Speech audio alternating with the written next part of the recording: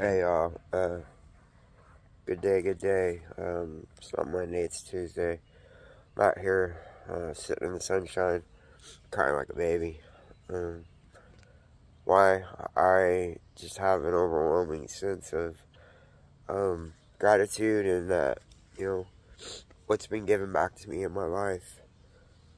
After, uh, you know, I had something happen to me that, you know, I didn't think that I could ever live again.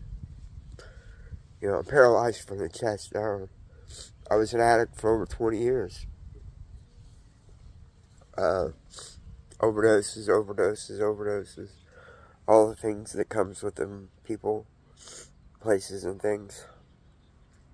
But, uh, I was blessed with the chance to be given a little bit of awareness, and I, I realized that if my life would have gone on without being gifted that from God, um, in the the ways that I, I was able to find it, But I would have continued to live in unaware, and I would have continued living with my legs, but I would have continued hurting people, man. I would have continued hurting people, and not even aware of the hurt that I was causing myself as well, because I I know that just by being more aware of myself, mindful of what's going on and what I'm saying out my mouth and the interactions I'm having that I'm aware of a lot more pain than I've caused people. And that's hard. It's, I feel guilty. I feel so guilty and, you know, just saying I'm sorry doesn't feel like it's enough. When I recognize that the people that love me, that's, that's all that is needed. It's, it's exactly enough.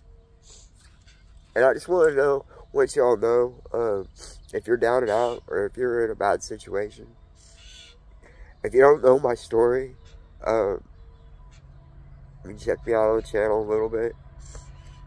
Um, and I'm not even sharing a lot. I was drinking and driving accident on my 26th birthday.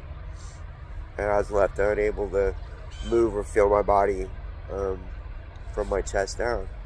My apartment burned down while I was in a coma. Coma.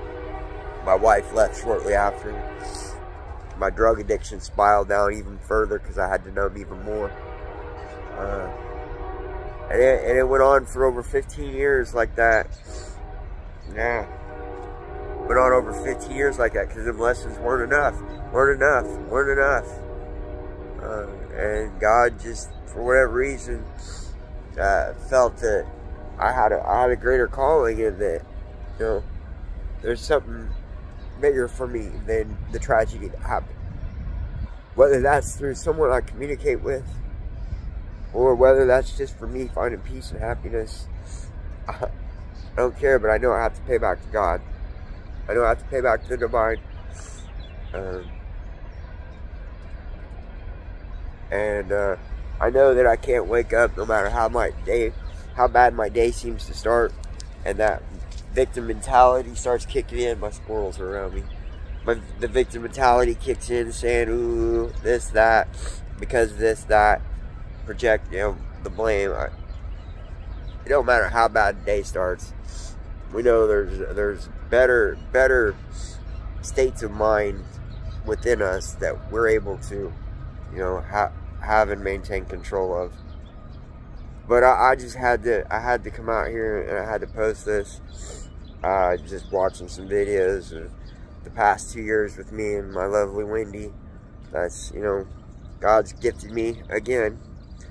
Uh, I hadn't been in a relationship uh, for a long time, and uh, you know, I, finally God, you know, gave me someone that sees everything they need to see, um, and the things that I'm able to do, and it just drives me further to do more because there's still more bigger things ahead.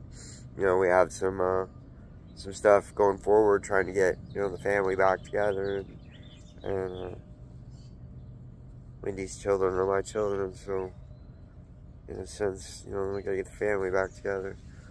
But I love y'all, man. I just had I had to post this. Uh, uh, peace. Anybody that follows me, likes, subscribes, whatever you need to do.